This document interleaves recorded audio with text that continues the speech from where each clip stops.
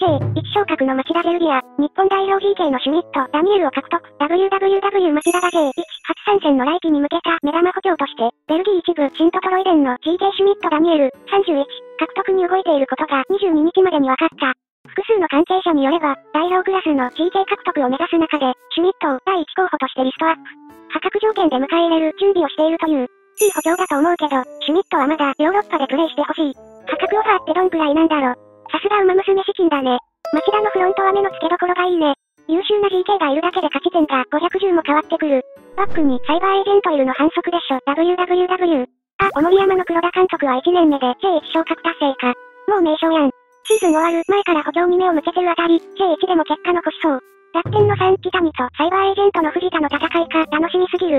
この資金力で補強がうまくいけば J1 で優勝争いの常連にもなれる可能性あるぞ。やっぱりサッカーもビジネス的に有能なチームが強くなっていくんだな。資金力あるなら使わない手はないし、これで J1 のレベルが上がるなら最高よ。藤田社長はワールドカップ、全試合をあれまで生中継したり、サッカーに対する情熱がすごい。町田はスタジアムへのアクセスをもっと良くしてほしい。シュミットを取れるなら最高だけど、本人はまだまだ欧州でやりたいだろうね。